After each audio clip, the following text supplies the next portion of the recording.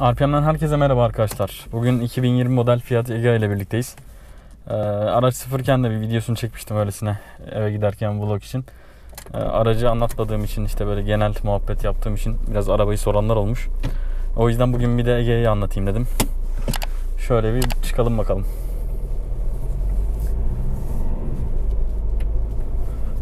Araç 2020 model arkadaşlar. Yıl sonuna doğru alınmış bir araç. 1.6 motora sahip. 120 beygir, 320 Nm torka e, sahip bir dizel canavar. Ben motorunu çok seviyorum. Gayet iyi gidiyor. Kullandığım Egea'lar arasında e, en sevdiğim paketlerden birisi bu.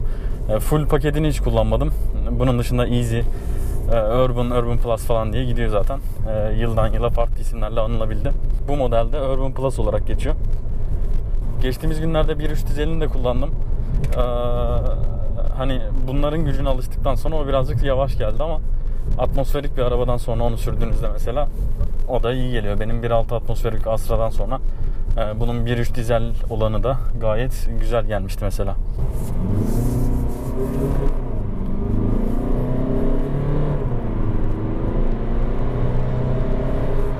Şöyle kaçışında göstermiş olduk. Eve geçecektim. Kullanıp kullanıp sonra çekmiyoruz. O yüzden baktım yorumlarda çok fazla geliyor. Ege'ye de çok soran var. Ee, bunun da bir videosunu çekeyim dedim arkadaşlar. Bu biraz daha hakim olduğum bir araç tabi. Bu zamana kadar çok fazla uzun yol yaptım Ege'larla. Ee, farklı motor seçenekleriyle, paketlerle kullandık. O yüzden biraz daha böyle şey e, rahat anlatırım. Yani ilk izlenimlerdeki gibi, ilk kez gördüğümüz bir arabadaki gibi e, olmayacaktır diyebilirim aslında. Arkadaşlar bunun boş paketini de çok kullandım. E, boş paketini sevmiyorum. Direksiyonda yani easy dediğim boş paket oluyor. Direksiyonda böyle e, tuşlar falan olmayınca bu kısımda tuşlar yok mesela. Ben o olayı sevmiyorum. Yani hani boş pakette bile onu koymalarını isterdim. Mesela Renault'un artık boş paketlerinde de hız sabitleme var. Artık değil bir süredir var. Clio 4'lerde falan da vardı. E, bunda da olmalıydı diye düşünüyorum. O yüzden hani easy'yi alsam birazcık o anlamda hoşuma gitmez. Yani otomatik vites araba istersin uygun olsun deyip boş paketini alırsın belki o ayrı bir şey de e, tercih meselesi ama ben herhalde şey yapmazdım yani farklı motor seçeneğiyle belki daha dolu paketini almayı seçebilirdim. Şu an web sitesinde şey olarak geçiyor paketler. E, Easy var, e, Urban var bir de Launch var. Bunlar arasında değişiyor. Motor seçenekleri çok fazla. Yeni motor çıktı biliyorsunuz. Egea Cross'la birlikte de sunuluyor. Bir motor. Sonra işte geçmişten beri gelen zaten 1.3 dizel var. 1.4 benzinli olan var. Bir de 1.6 dizel var. Ülkemizde satılanlar da bunlar bildiğim kadarıyla. Şimdi bunda paketleri de söyleyecek olursam boş dediğim easy pakette mesela direksiyonun şu kısmı boş. Hız sabitleme olmadığı için. Ben onu sevmiyorum o yüzden. Yani araç aynı olsa da ya bu benim için önemli şey. Uzun yolda özellikle çok konfor sağlayan bir nokta.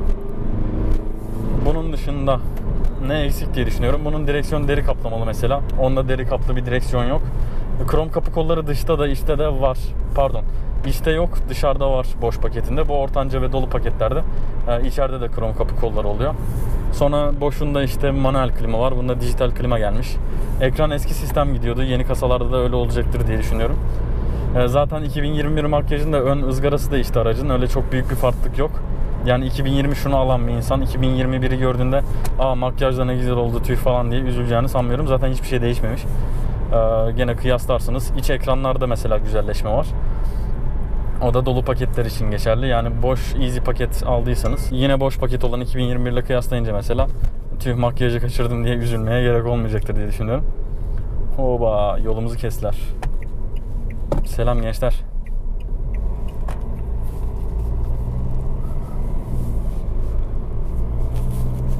Egea genel olarak benim sevdiğim model. İlk çıktığında bir enjektör hatası falan veriyordu. Ee, uzun kullanımda nasıl etki yaratacağına da bir bakmak lazım. Ee, bizim ailemizde olan bir tane daha araç var mesela 1.3 dizel. Ee, Urban paketi, ortanca pakette. O mesela şu anda 2017 model olsa 17 ya da 18, 17 olsa e, yaklaşık 5. yılını tamamlayacak bu sene. 150 e, bin kilometreye gelmiş durumda şu anda. İşte 150 bin bakımına gitmek üzere yakında vereceğiz. 150 bin bakımından önce e, araç böyle sarsıntılı çalışıyor. Marşa biraz daha uzun basmak gerekiyor falan. E, yani bu tip böyle uzun kullanımda şeyler olabiliyor. Bakımdan sonra araç kendini toparlar elbet ama işte uzun süreli kullanımda Artık 150 bin kilometrelere gelince biraz daha böyle trim sesleri falan ortaya çıkmaya başlamış. Ee, yoksa bu şey değil mesela hani sıfır haliyle bayağı e, beni tatmin ediyor ki e, bu aralar işte 2008 Captur ne bileyim Golf 7 falan hepsini sürüyorum. Bende Astra var. E, onlardan sonra inip buna binince bir böyle kalitesiz basit çok gelmiyor yani tam parça kalitesini kıyaslayamam. Ama aldığında böyle şey pişman edecek derecede hissettirmez yani mutlu ediyor seni araba. Linealarda mesela içeriye ses alması falan biraz daha buna göre kötüydü. Ee, onda biraz daha şey hissettiriyordu insana. Daha geri kalmış mı diyeyim. Ee, parça kalitesi ve seviye olarak ucuz araba hissiyatını gayet hissettiriyordu yani. Şuradan ben gideyim. Ee, bir 0-100'ü deneriz. Ondan sonra yolumuza devam ederiz. 0-100 kitapçık verilerine göre 9.8 saniye falan gözüküyor. Yani biz denediğimizde de öyle çıkacaktır muhtemelen. Ee, şu Eko'yu bir kapatalım. Start stop'u da devre dışı bıraktım. Birazdan deneriz. Şimdi boş pakette start stop olayı var mesela. Motoru kapatabiliyorsunuz. O, onu koymuşlar. Ama hız sabitleme olayını koymamışlar. E, dolu paketlerde şurada da birkaç tuş oluyor. Şu an bunda boş gözüküyor orası tabi. Bu ortanca paket olduğu için.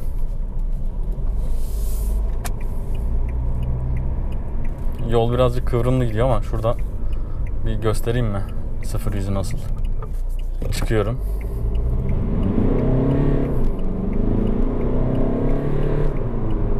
Dip gazda gidiyoruz. 100. Evet hızlanması bu şekilde yani beni tatmin ediyor gayet güzel gidiyor. E, boş pakette de bu ara otomatiğini kullandım. İşte dijital klimanın olmayışı falan da e, bir boş hissettiriyor. Araba mutlu eder tabi de. E, şey değil ama ortanca paketi alabiliyorsanız arada zaten maksimum 10-15 lira fark etsin. Verebiliyorsanız o tip almak daha güzel. Boş pakette kapak jant var. Bunda mesela çelik jant var. Gibi böyle ufak tefek farklar var. Ayrıntılar var. Neyse boş paketinde ayrıca inceleriz olmadı. Ben şuradan gene kaçacağım. Sıfır yüzünü aradan çıkartmış olduk. Ee, bir de iç dış görüntüsüne bakarız birazdan ve gidişini inceleriz. Uzun yolda yormuyor araç. Koltukları fena değil. Çok yumuşak değil, sert de değil. Ee, hani orta olup da uzun vadede yoranlar olur. Bu öyle değil. Ben sadece yakıt alarak işte 1000 kilometre çok yol yaptım. Kütahya'dan Antep'e de çok gittik bunlarla.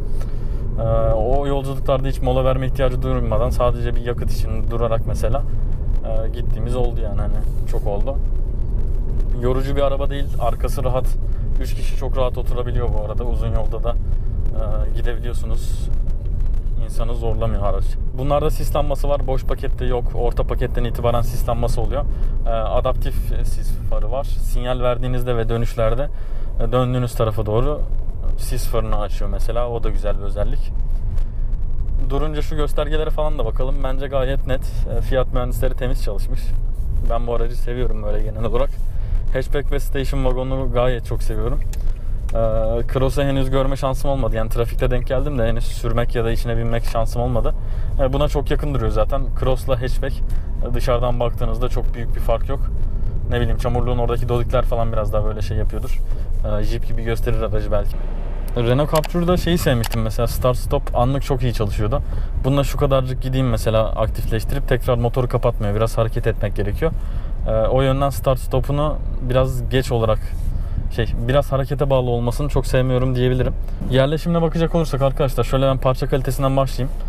Ee, burası mesela e, sert plastik ama biraz böyle damarlı bir desen olduğu için e, hafif kaliteli duruyor. Öyle çok e, şey değil.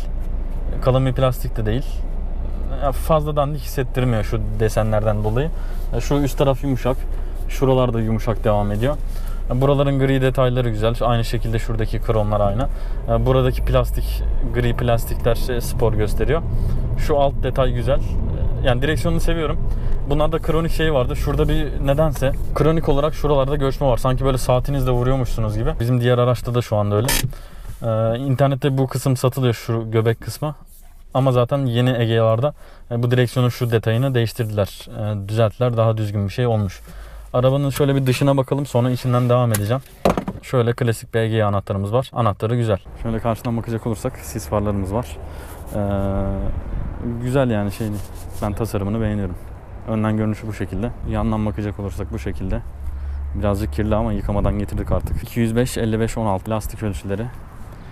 Krom kapı kolları var. Güzel. Aynalarda katlanır olsa dolularda mesela o da güzel. Yok diye biliyorum. Arka stoplar falan da e, güzel duruyor. Arkadan tasarımı da böyle. Anahtarda alttaki tuşa iki defa bastığımızda bagaj açılabiliyor bu şekilde. E, bagajı da 520 litre e, sınıfında gayet yeterli, güzel, geniş bir hacme sahip. Bu şekilde. Şunlara dikkat etmek gerekiyor. Burası gizli olsa daha güzel. Meganlar öyleydi mesela. Bunu kapatınca bavulunuza falan zarar verebiliyor. Tabi şuradaki çamurluk davlumbazın üstü e, dikdörtgen olduğu için buraya kadar bir şey koymuyorsunuz. Bu o anlamda düşünülmüş sanki yani şunları kapatınca bir çantaya çarpmaz gibi. Ama daha önce başıma geldi mesela yani çantanın bir kısmını ezmiştik o şekilde. Altta bir stepnemiz oluyor. Şu şekilde gösterelim. Gayet rahat, konforlu bir bagajımız var. Şuralarda hep parmak izleri var zaten. Altta bir bagaj tutamağı olmadığı için kapatırken dıştaki kirden maalesef eliniz kirleniyor. Farlarda yeni makyajlarda bu şekilde. Altta giden led e, far var. Orası da gayet güzel duruyor. Bu arada sis lambalarında da şöyle bir krom detay var. O da aracı şık gösteriyor. Hadi devam edelim. Yağmur ve far sensörü yok maalesef ortanca pakette. Şöyle içine bakmaya devam edecek olursak e, bagaj açma tuşumuz var. City Mod bunda da var. Fiat Punto vardı bende. Onda aşırı yumuşatıyordu. E, Bunda da yine işe yaradığını söyleyebilirim. Kapı kilidiniz burada. Dörtlü flaşör burada. Hava yastığı uyarısı var. E, Start stop'u devreye alma tuşumuz burada ve Eco modumuz var. Izgaraları falan ben seviyorum. Yani çizimi tatlı olmuş. Güzel duruyor. Şunu takmadan radyoyu göstereyim size.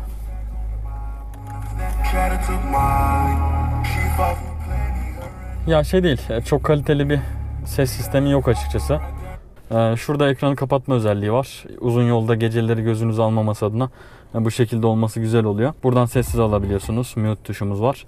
Ee, Şu kontroller güzel. Ee, Rahat çalışıyor. Şuradan geri tuşumuz var. Kanal arama için de şuradan kullanıyorsunuz. Başka ne var? Medya telefon bağlı ise e, telefondaki medyayı çalıştırması için var. Ortanca pakette bu gene şey yok. Apple CarPlay yok. USB ile de bağlansanız, Bluetooth'la da bağlansanız yok maalesef. E, telefonda bağlı telefonları görebiliyorsunuz. Arama ekranı falan var. E, Uconnect'te ne vardı mesela? Aracın e, trip demiş mesela menzili falan görebiliyorsunuz. Buradaki bilgileri buradan da görebiliyorsunuz. Trip A, Trip B olarak iki tane veriyor. Bir de anlık menzil ve tüketimi bu ekrandan görebiliyorsunuz. Telefon medya demiş, ses ayarları, radyo demiş. Ayarlar var bir de. Ayarlarda da işte ekran ayarları var, dil var. Öyle ilginç bir şey var mı? Kapı ayarları var. Otomatik kilit için bakılabiliyor oradan. Ya bu şekilde gidiyor. Trip dediğimiz kısım şurada da göstermiş mesela böyle bir ekranı var. Yani şu güzel, şık duruyor zaten. Önceki ekrana göre bayağı e, toplamışlar. Güzel duruyor. Sol tarafta sıcaklık ayarı, sağ tarafta e, fan hızını ayarlıyorsunuz. Klimayı şuradan açıp kapatıyorsunuz. İşte burada da e, ayağa başa havaya verme ayarları var. Bu şekilde gidiyor. Yarı otomatik bir vitese sahip. Araç çalışırken e, en aşağıda sola çektiğimizde de artı eksi olarak gözüküyor zaten. E, manuel vites olarak da kullanabiliyorsunuz. Torpidoya bakacak olursak şu şekilde e, kullanışlı bir torpidosu var. Öyle çok aşırı büyük diyemem ama küçük de değil. Şuralar sert, burası yumuşak devam ediyor. Kapımız gene sert. Ee, camların açılmasına bakalım. Zaten çift olması gerekiyor. Bir bakayım. Evet, ön cam çift kademe. Yok, arka camlar çift kademeli değil. Bir de arka koltukların mesafesine bakalım mı? Şimdi 1.81 boyla koltuklar bana göre ayarlıyken arkadaşlar ee, bu şekilde çok rahat oturabiliyorsunuz. Dediğim gibi 3 kişi de uzun yola gittiğinizde rahat konforlu bir arka hacme sahip diyebilirim. Ee, Kapı gözleri falan da gayet kullanışlı. Buralar gene sert plastik. Aydınlatmamız atlanmamış. Aydınlatmamız var. Kolçağımız yok maalesef. Ee, Kumaş gri koltukları olan da var. Bu siyah desenli. Ee, Biraz daha spor. Ben bunu beğendim açıkçası. Arka yaşam hacmimiz de bu şekilde. Haydi gelin devam edelim.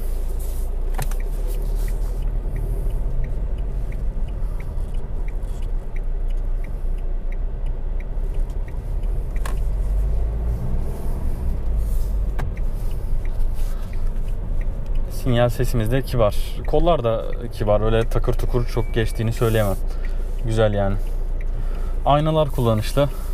Küçük bir aynaya sahip değil. Gayet konforlu bir şekilde aracı ve arkayı görebiliyorsunuz. Dediğim gibi yani ben aracın gücünü beğeniyorum. Malzeme kalitesi olarak şey yani sıfır araç alayım niyetiyle aldığınızda fiyat performans ürünü bir araç olduğu için tatmin etmeyecek seviyede değil yani bence güzel. Ayna biraz daha dolu olabilirmiş. Otomatik kararan ayna falan şık gözükecektir. Belki dolu pakette vardır o. Emin değilim şu anda. İç aydınlatma olarak da buradan e, ayarları mevcut. Şöyle tuşa basarak açılıyor. İnsanların çok tercih ettiği modellerden birisi açıkçası bu. E, bu sebeple zaten çok satan bir araç olduğu için piyasası da hızlı. Bir de bir laf var yani bir araç taksilerde gözüküyorsa e, sağlam araçtır diye. E, taksicilerden de görürsünüz çok fazla var mesela. Geçenlerde bir Ege taksiye bindim onu da söyleyeyim. E, Antep'te binmiştim. 350 bin kilometredeydi. 3 senede yapmış. E, mesela o da öyle yani iç trim sesleri falan biraz artmış vaziyetteydi. İlerleyen kilometrelerde biraz daha kendini belli ediyor. Bir Opel gibi e, tok durmuyor hala açıkçası onu da söylemiş olayım. Evet arkadaşlar Fiat Egea incelememiz bu şekildeydi. Benden bu kadar arkadaşlar. Sıradaki videolarda görüşmek üzere. Kendinize iyi bakın. Hoşçakalın.